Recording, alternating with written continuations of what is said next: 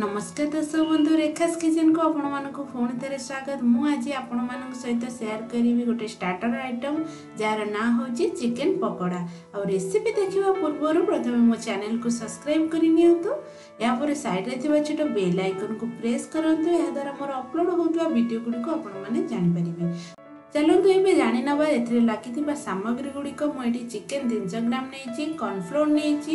ଲୁଣ ନେଇଛି ଗୋଟା ଜିରା ନେଇଛି ଗରମ ମସଲା ଗୁଣ୍ଡ ନେଇଛି ଲଙ୍କା ଗୁଣ୍ଡ ନେଇଛି କସ୍ତୁରୀ ମେଥି ନେଇଛି ଅଦା ରସୁଣ ପେଷ୍ଟ ନେଇଛି ଏଠି ଚାଉଳ ଆଗରୁ ଭିଜେଇକି ତାର ବାଟିକି ପେଷ୍ଟଟା ନେଇଛି ଏଠି ଗୋଟେ ଅଣ୍ଡାକୁ ଫେଣ୍ଟିକି ନେଇଛି ଚାଲନ୍ତୁ ଏବେ ଷ୍ଟାର୍ଟ କରିବା ଚିକେନ୍କୁ ମ୍ୟାରିନେଟ୍ କରିନେବା ପ୍ରଥମେ ଅଦା ରସୁଣ ପେଷ୍ଟ ଦେଇଦେବା କର୍ଣ୍ଣଫ୍ଲୋର୍ ଦେଇଦେବା স্বাদ অনুযায়ী লুণ দেইদেবা গোটা জিরা দেইদেবা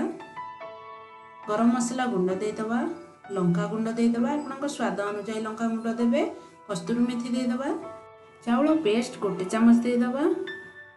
অন্ডা দুই চামচ দেইদেবা এটি মু কম অন্ডা ইউজ করছি যেহেতু কম চিকেন নেছি আপনার যদি অধিক চিকেন নেবে তাহলে গোটে অন্ডা ইউজ করবে ইয়াকে ভালো ভাবে গোলি নেবা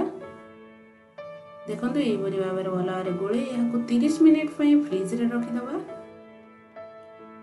ତିରିଶ ମିନିଟ୍ ତ ଆମର ହେଇଯାଇଛି ଗରମ ତେଲ ବି ମଧ୍ୟ ହେଇଯାଇଛି ଚିକେନକୁ ଆଉ ଥରେ ଟିକେ ଗୋଳେଇ ନେବା ଏ ଗରମ ତେଲରେ ଚିକେନ ପିସ୍ ଗୁଡ଼ିକୁ ଛାଣି ନେବା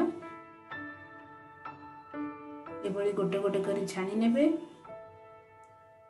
ଗ୍ୟାସ୍କୁ ପ୍ରଥମେ ହାଇରେ ରଖିବା ଦୁଇ ମିନିଟ୍ ପାଇଁ ଏହାପରେ ଲୋ ଫ୍ଲେମ୍ରେ ଫ୍ରାଏ କରିବା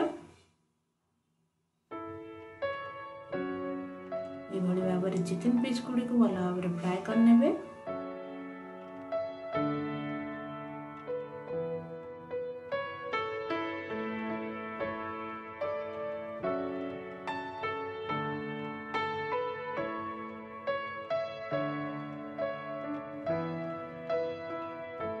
ଦେଖନ୍ତୁ ଚିକେନ୍ ପିସ୍ ଗୁଡ଼ିକ ତ ବ୍ରାଉନ୍ କଲର୍ ହେଇଗଲାଣି ପକୋଡ଼ା ଆମର ଅଲରେଡ଼ି ହେଇଗଲାଣି ଏହାକୁ ମୁଁ ଗୋଟେ ପ୍ଲେଟ୍କୁ କାଢ଼ି ଦେଉଛି ଦେଖନ୍ତୁ ଚିକେନ୍ ପକୋଡ଼ା ଆମର ହେଇଯାଇଛି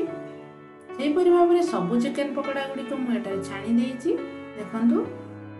ଚିକେନ୍ ସହିତ ଟମାଟୋ ସସ୍ ଦେଇଛି ଖାଇବା ପାଇଁ ଏହିପରି ଭାବରେ ଚିକେନ ପକୋଡ଼ା କରି ଫ୍ୟାମିଲିମାନଙ୍କ ସହିତ ସେୟାର କରିବେ ଘରକୁ ଗେଷ୍ଟ ଆସିଲେ ମଧ୍ୟ ଆପଣମାନେ ଏହିଭଳି ଭାବରେ ଚିକେନ୍ ପକୋଡ଼ା କରିକି ଦେଇପାରିବେ ᱟᱣᱟᱨ ᱪᱮᱱᱮᱞ ᱠᱚ ᱞᱟᱭᱤᱠ ᱥᱮᱭᱟᱨ કરીବାକୁ ᱡᱚᱢᱟᱨ ᱵᱩᱞᱤᱵᱮᱱᱟᱭ ᱨᱮᱥᱤᱯᱤ ᱠᱤᱯᱚᱨᱮ ᱞᱟᱜᱞᱟ ᱮᱨ ᱢᱚᱛᱟᱢᱚᱛ ᱠᱚᱢᱮᱱᱴ ᱵᱚᱠᱥ ᱨᱮ ᱱᱤᱥᱪᱟᱭ ᱫᱮᱵᱮ